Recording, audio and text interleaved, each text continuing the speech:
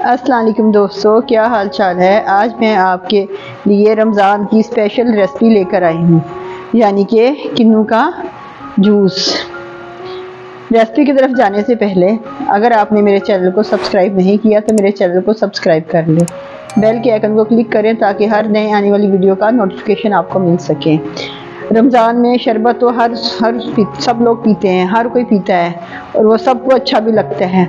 तो मैंने कहा, चलो, इस दफ़ा मैं आपके लिए किन्नू का स्क्वाश लेके, बना के तैयारी करते हैं। चलें, देखते हैं कैसे बनते हैं। इसके लिए मैंने छः दर्जन किन्नुओं की ली थी, जिनको मैंने छील लिया है। छीलने के बाद मैंने इनके दो पीसीस करके इसके अंदर से मैंने बीज को निकाल दिया है। आप भी सारे बीज को निकाल दीजिएगा ताकि ना वरना फिर हमारा जो जूस है वो कड़वा हो जाएगा। चलो हम इसका जूस निकालते हैं। चले हम ना ये किलों का जूस निकालते हैं। देखते हैं इनका जूस कितना निकलता है, फिर मैं आपको बाद में बताऊँगी कि हम इसमें शुगर वगैरह कितनी ऐड करेंगे।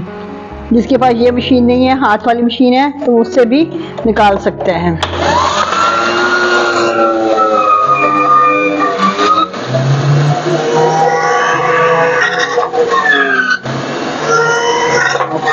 ये देखिए, मैंने जूस निकाला है, ये मैंने डिब्बा लिया है, ये हमारा ना हाफ़ लीटर का डिब्बा है। ये मैंने अभी एक डिब्बा निकला है।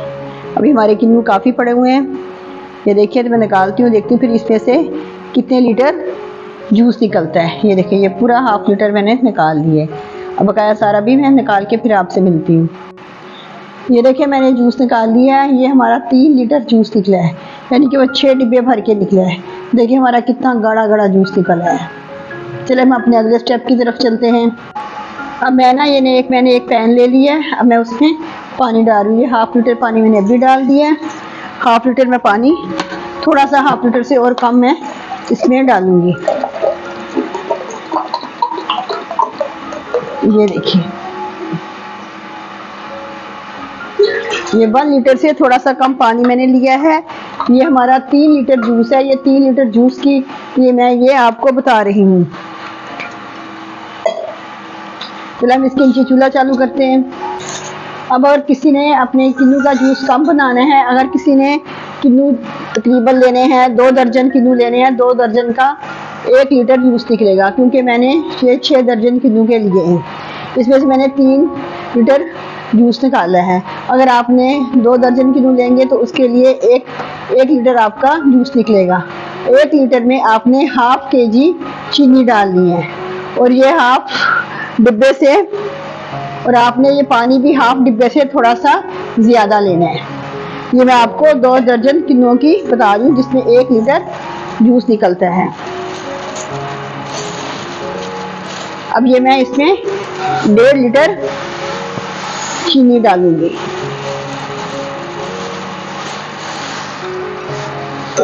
ये चीनी मैंने नाप के रखी है, पूरी ये वन के जी है।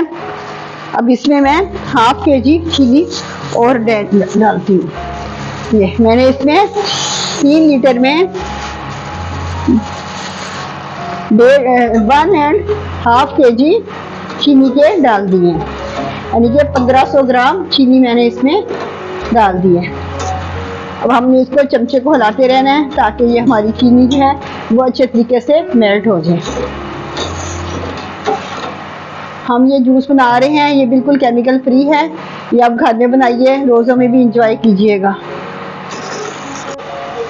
ये देखें, चीनी बिल्कुल ना इसके अंदर डिज़ोल्व हो गई है। और ये हमारे जो है शीर शीरा हमारा पकने लग गया है। अब हम जो हमारा जूस बनाया था, वो हम इसके अंदर डाल देंगे। ये देखिए जूस कितना गाढ़ा गाढ़ा बना है। अगर आपके पास मशीन नहीं है तो वो हाथ वाली आती है मशीन वो डेढ़ दो सौ की मिल जाएगी चेज से या सुपर इम्तियाज़ मार्केट से, आप वो भी ले सकते हैं। उससे भी आप जूस निकाल लीजिएगा। ये देखिए, हमारा माशाल्लाह कलर देखिए कितना प्यारा है। ये देखिए। बस हम इसको छोड़ देंगे ताकि हमारा ये जूस भी शीरे के साथ पक जाए। ये देखिए तकरीबन चार पाँच मिनट हो चुके हैं हमारे ये जूस को पकते हुए। अब हम इस टाइम इसमें वन टीस्पून नमक ऐड कर देंगे। और आपने एक लीटर का बनाना है तो आप क्वार्टर टी स्पून नमक का डालिएगा।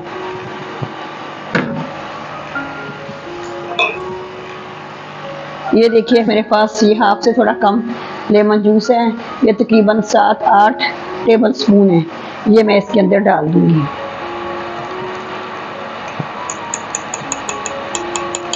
ये छान के डालिएगा ताकि कोई बीज वगैरह अंदर ना जाए। ये देखिए।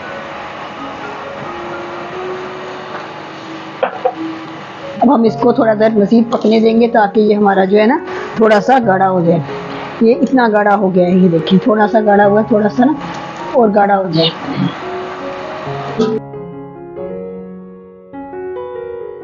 नमक हमने इसको बैलेंस इसके टेस्ट को बैलेंस करने के लिए डाला है। अगर आप चाहें तो इस पॉइंट पे हम थोड़ा सा जर्दा रंग भी डाल सकते हैं। थोड़ा सा डाल देते हैं ताकि हमारा ये कलर अच्छा आ जाए। हाँ, ये देखें ये हमारा जूस बिल्कुल तैयार हो गया है। बिल्कुल ये मैंने इसके अंदर कुछ नहीं डाला। ये देखें इसका ओरिजिनल कलर है माशाल्लाह से। अब ये तैयार है मैं चूल्हा बंद करती हूँ। ठंडा होता है फिर मैं आपको बना के दिखाती हूँ। ये देखें, जूस हमारा बिल्कुल तैयार हो गया है और मैं इसको बाहर रखा हुआ था ठंडा भी होगा, ये बिल्कुल रूम टेम्परेचर पे आ गया है। अब हम इसको साफ़ जार में भर लेंगे। पहले मैं जार में भरने से पहले मैं आपको इसका शरबत बना के दिखाती हूँ। ये देखिए, मैंने गिलास ले ली है। अब सब मैं इसमें, सबसे पहले मैं इसमें आइस क्यूब डालूँगी।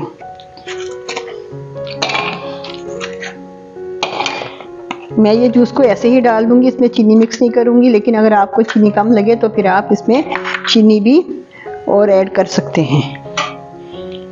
ये एक गिलास में तकरीबन तीन से चार चम्मच टेबल स्पून हम इसमें ऑरेंज जूस डालेंगे।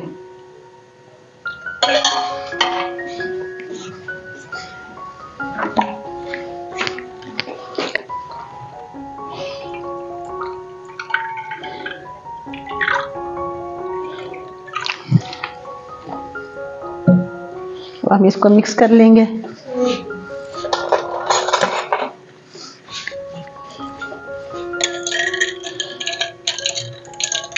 ये देखिए, बगैर केमिकल इसका कलर देखें ज़रा।